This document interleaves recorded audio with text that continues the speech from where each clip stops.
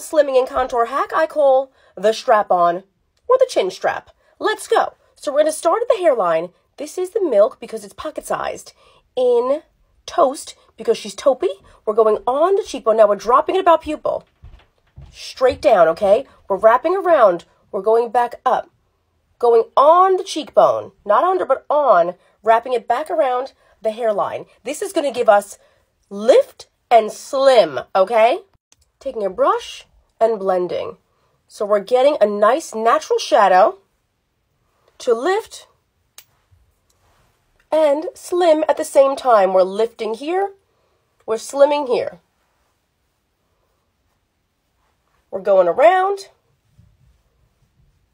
blending out, and that is an easy lift and slim contour hack. Let's go.